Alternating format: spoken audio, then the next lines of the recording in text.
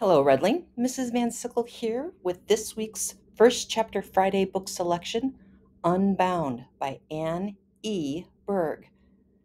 I chose this book not just because it's an award winning piece of historical fiction about slavery in the Deep South during the 1800s, but because even though it was a very tough story to understand, how this horrible time in American history could actually happen, I could not put this book down.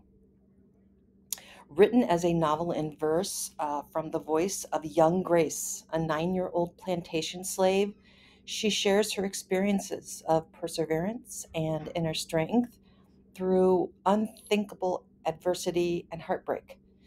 I feel it's an honorable tribute to Black History Month. Check it out.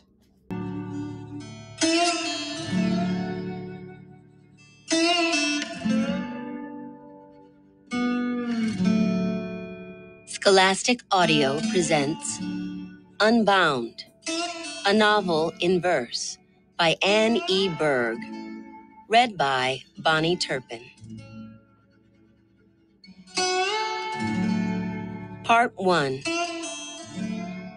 When Mama tells me I'm going to the big house, she makes me promise to always be good, to listen to the missus and never talk back to lower my eyes and say, yes, ma'am, no, ma'am, and not to speak less spoken to first.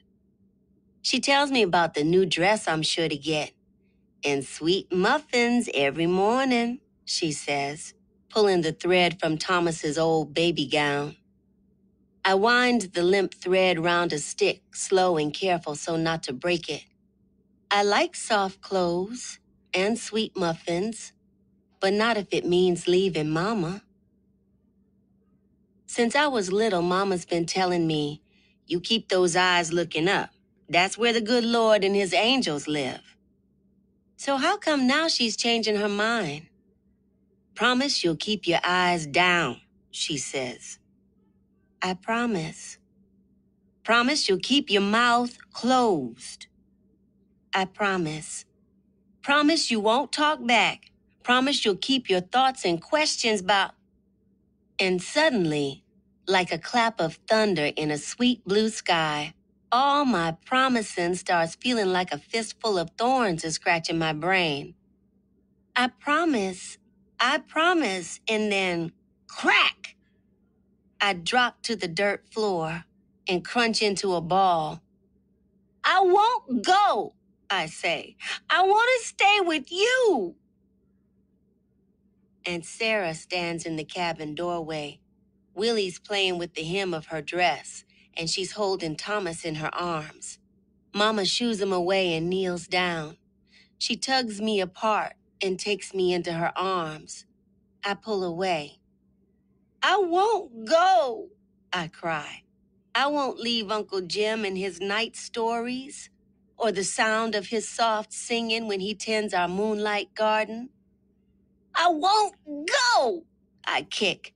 I won't leave little Thomas and Willie. And Sarah's old. She can sing to 'em when Mama works in the fields. But who'll stand over 'em waving a dried leaf to give 'em a breeze when they nap? Who'll play with 'em and chase 'em into a lump of giggles when they wake? I won't go. I won't go. I pound and thrash, scream and stomp. I won't go. I want to stay with you. Mama wraps her arms tight round mine.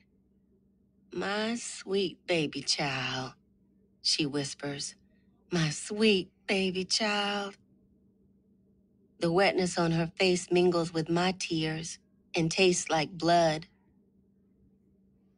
Uncle Jim says Mama's the prettiest mama in the county.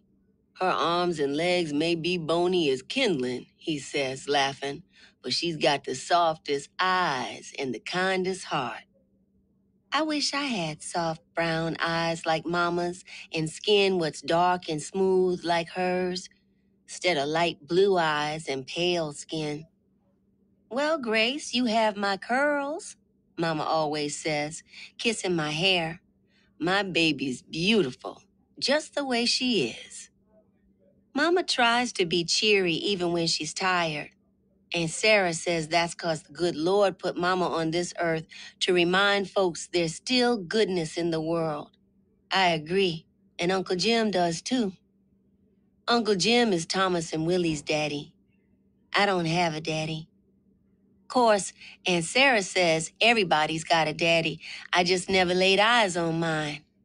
I never heard him sing or feel him lifting me to the moon and laughing like Uncle Jim does with Willie and Thomas. It's my Aunt Sarah what's been helping Mama take care of me since I was a baby. She's not really my aunt, but Mama says the folks will love you, will hold you and soothe you, will worry about you, and make sure you's clothed and fed. Mama says these folks is your family. She says Uncle Jim's my daddy in all the ways what count. I only call him Uncle Jim 'cause that's what I called him before he jumped the broom and married my mama. Mama says we got two days before I leave for the big house. Says it's no use stamping our feet or crying. Says there's things we can change and things we can't. You's only going up the hill, she says, smiling. But her voice quivers, and a sorrow and tear clings to her bottom lash. Up the hill don't seem far, but Master Allen lives up the hill.